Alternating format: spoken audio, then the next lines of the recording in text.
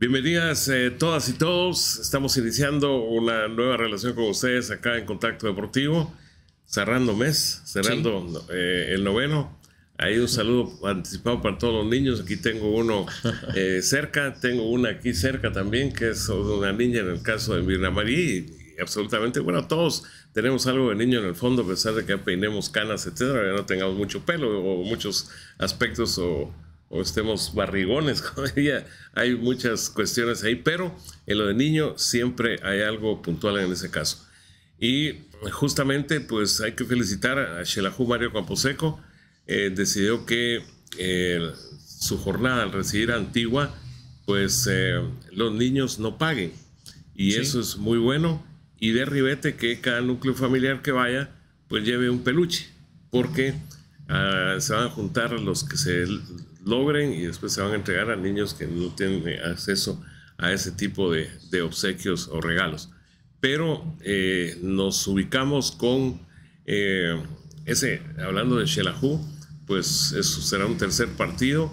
Y para llevarlo en orden cronológico, porque si lo hiciéramos en orden de interés, todos tienen, en atracción, pues pondría yo, digamos, el de Guastatoya de Comunicaciones, pero eh, por el orden, eh, y hablemos de sábado, por ejemplo, los tres partidos de sábado, José Pablo, eh, ¿qué te imaginas de un duelo entre dos que están empatados a puntos a 18, como lo son Municipal y Achuapa, para jugar en el estadio del Trevor, donde no hace mucho Achuapa vino a expugnar esa cancha y les ganó con un penal, y luego estará el partido a las 6 de la tarde en Mixco, Mixco recibiendo a los Toros de Malacateco, Mixco en zona eh, de aquello que hay que recuperarse, porque si no, otra vez problemas con la categoría.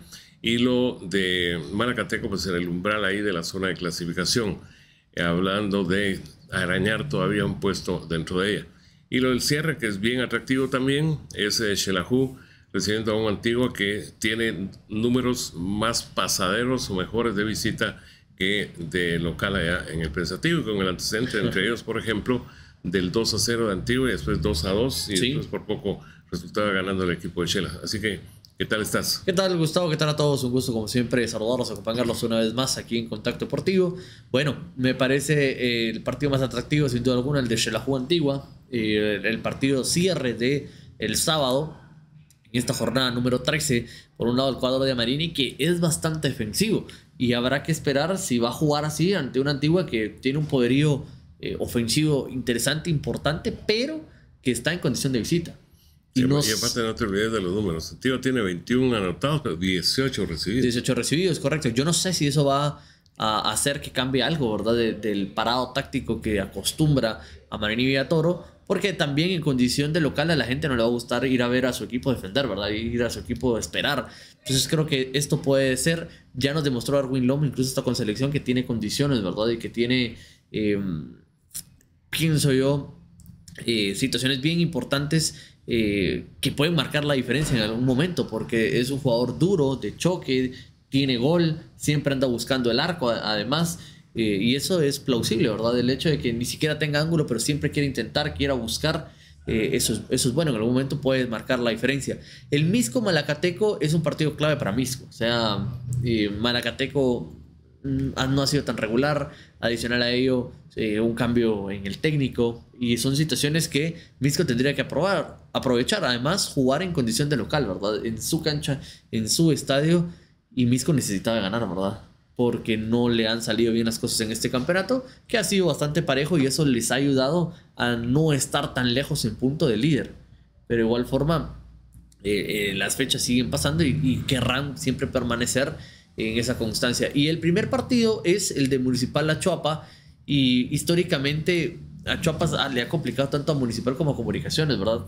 Claro que se nota más cuando juegan en condición eh, de local, o sea, cuando es en el estadio de Achuapa, pero eh, esto no significa que vaya a ser fácil o que vaya a ser sencillo. Creo que vienen muy motivados por el hecho de su nuevo técnico, el primitivo Maradiaga, eh, le está intentando dar otra cara al equipo con lo que hay y sin duda alguna, pues Municipal va a ser un buen tester para poder medir, para poder ver eh, qué tan ambicioso es este proyecto de Achuapa, que pienso va a ser difícil que pueda pelear el campeonato, pero no va a ser tan fácil o tan sencillo que caigan en lo que ya les pasó de estar peleando por, por no descender.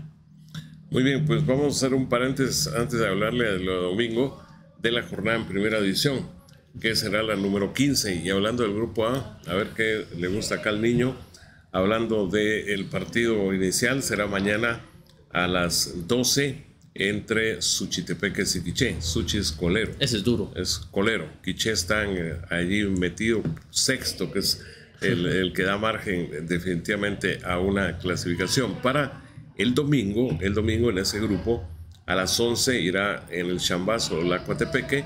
En tanto, a las once y media, duelo de Catarina, el líder, contra Marquense, que está fuera de zona de clasificación otro equipo lógicamente del departamento de San Marcos. En tanto, a las 12, el ex líder, pero que tiene los mismos puntos que Catarina, Nueva Concepción, enfrentará a su vecino Escuintreco, el puerto San José, y se va a cerrar con un cruce entre el tercero y el cuarto, hablando de San Pedro contra San Juan, duelo de santos, ahí imagínate, el primer papa contra el, el hijo preferido o, apóstol preferido de Jesús, hablando a las 3 de la tarde en el Estadio Checán. Sí, me, ese Sololá Coatepeque puede ser muy importante, puede ser muy interesante, eh, sin duda alguna. El Suchi Quiche, yo no lo descarto tampoco. Un Suchitepeque necesitado, un Quiche que tiene mérito y premio siempre estar ahí peleando, siempre estar eh, muy cerca de. Eh, por el otro lado, Catarina me parece un rival duro, muy difícil para un marquense que está intentando mejorar luego de que arrancó muy mal este torneo y que tuvo que hasta cambiar de técnico y demás. Así que son partidos muy atractivos. No sé si el más atractivo puede ser ese partido San Pedro-San Juan, por el hecho de que eh, San Pedro está peleando muy bien y el conjunto Walter Claverí es una novedad, ¿verdad? En primera división y lo ha hecho muy bien.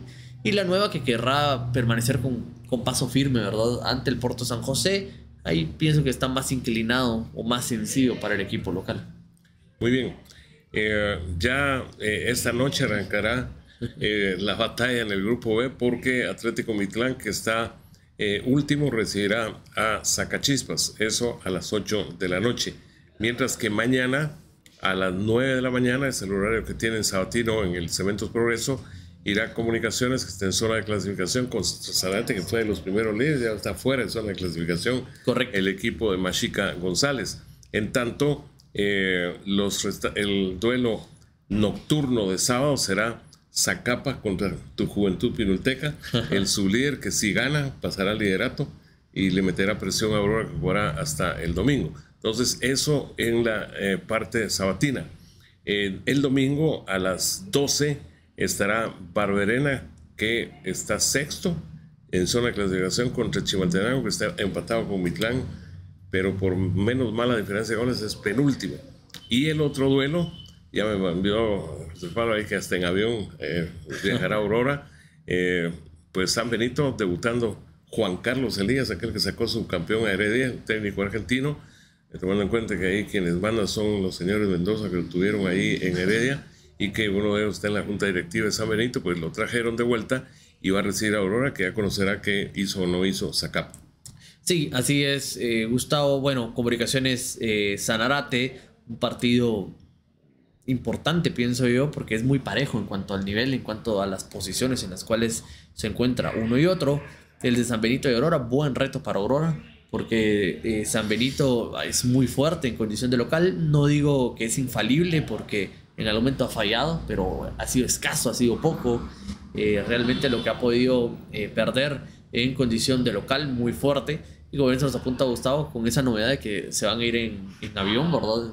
No sé cómo lo hicieron, porque en cuestión de costos eso es bastante, bastante elevado. O sea, ya para todo un plantel, no sé incluso si cabe todo el plantel en un solo avión o, habrá que tomar dos, porque, porque son avionetas muy chiquitas, ¿verdad? Las que van regularmente a, a, esos lugares.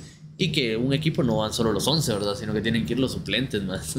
El técnico y el, utilero, no sé, hasta, hasta ciertas cosas, ¿verdad? Las, playeras y demás. Pero bueno, Atlético Mitlán estará enfrentando a Sacachispas. Eh, Mitlán es importante este partido. Eh, eh, este equipo siento que no se ha logrado levantar, Gustavo, y de, y de alguna forma puede preocupar un poco lo de los conejos. Es un equipo histórico, emblemático. ante otro también histórico que no ha podido regresar después de que estuvo un muy breve paso por la Liga Nacional en el caso de Sacachispas para mí el partido más atractivo de la jornada es ese Zacapa Juventud Pinulteca porque están ahí, ¿verdad? equipo. Dos y tres. Entonces, sí, está bien. Eh, para, para Zacapa es importantísimo no despegarse de Aurora y ganar ese partido, aunque no sabemos si va a ganar la Aurora, ¿verdad? Y para Juventud Pinolteca, si gana Aurora y encima pierde con Zacapa, se les estarían escapando, se estarían alejando. Así que por eso digo que es un partido muy, muy importante, pero muy difícil. Yo más pienso incluso que puede ganar el equipo de Zacapa.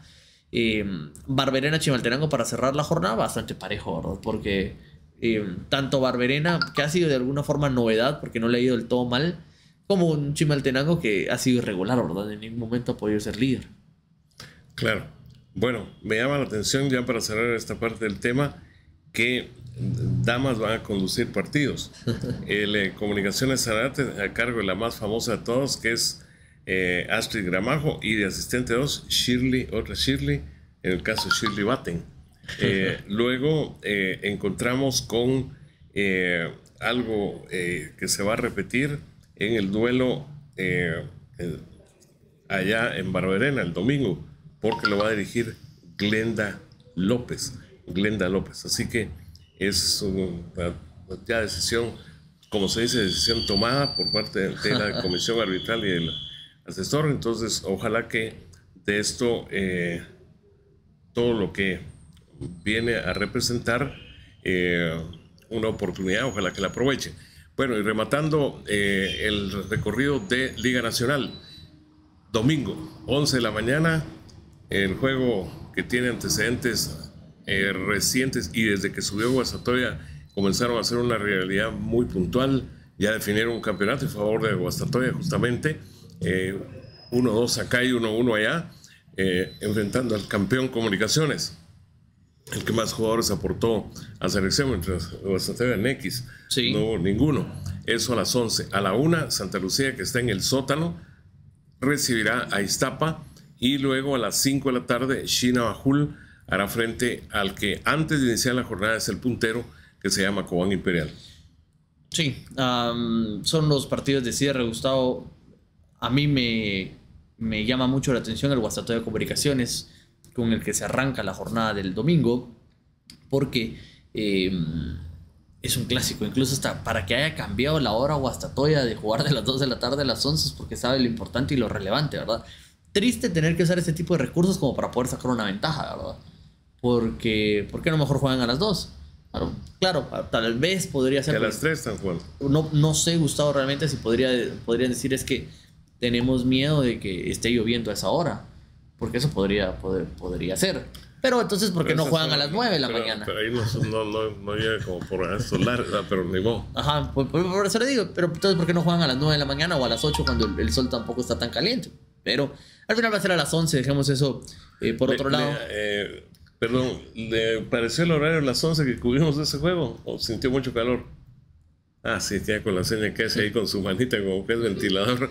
la mejor respuesta de Mina Marí que nos acompañó precisamente en esa cobertura. Fue con Municipal jugando final también, pero en ese horario. Sí, es, es muy duro. Entonces, eh, por ahí eso es lo que no me gusta y lo que siempre eh, recrimino por el hecho de que queremos que mejore el fútbol, pero tampoco hacemos algo para que eso pase. Y sabemos que es lo conveniente, pero decimos, ahí lo vamos a hacer más adelante y más adelante y más adelante. lo único que pasa es el tiempo. Y cuando juega selección nos volvemos a frustrar, nos volvemos a decepcionar. Vuelven a ver entrevistas, vuelve a hablar Ricardo Jerez, dice exactamente lo mismo, otra vez nos volvemos a enojar, pero no pasa nada. Entonces, creo que son situaciones que hay que corregir.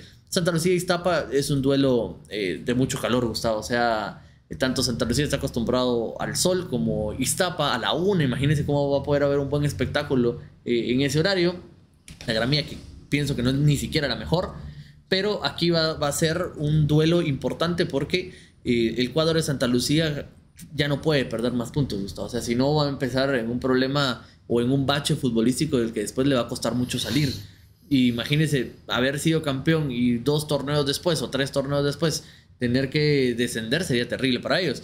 Entonces, Iztapa no es un equipo o un rival con un poderío futbolístico muy amplio, muy eh, distante a la realidad que vive Santa Lucía. Así que por la paridad y demás y por el hecho de la localidad, siento que son esos puntos que no debe dejar escapar Santa Lucía. O sea, ¿estás de acuerdo con lo que dijo el técnico de ellos, español, que este es de los partidos que no hay que dejar pasar? Sí, para mí están obligados. Si no, después, cuando uno revisa por qué descendió tal equipo, este tipo de puntos, este tipo de duelos que dejan escapar son los que marcan la diferencia. Y la jornada cierra con el Shinahul Koan Imperial.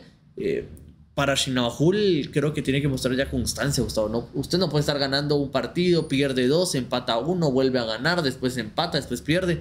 Eh, es, es, una ruleta rusa realmente. Y tiene un equipo respetable. Si usted mira incluso la alineación, no es como para que les vaya así de estar siempre de media tabla para abajo, porque ni siquiera de media tabla para arriba. Siempre están de media tabla para abajo pienso que podrían entrar más en la pelea a pesar de estar debutando, aunque el rival es duro. Cobán tiende a, ser el favorito, no por nada ha permanecido en el liderato durante un montón de jornadas, brevemente estuvo Shela, pero de ahí regresaron, entonces em, creo que Shinahul debe de ser un partido muy inteligente en su cancha ante su gente y ver la posibilidad, si no pueden conseguir los tres puntos, por lo menos de un empate. Muy bien, ya para concluir, eh, recordarles, hay partidos al reactivarse Europa interesantes, tantos que siguen al Real o al Barcelona. Barcelona irá mañana con lo que le quede, sobre todo en defensa de Xavi Hernández, enfrentando de visita al Mallorca del mexicano, el vasco Javier Aguirre, eh, que le ha ido mal, no le ganan al Barcelona ahí en Son Mois desde la temporada 2008-2009, eso es ya bastante. Y luego el Real Madrid en mismo horario, pero domingo estará recibiendo a los Asuna.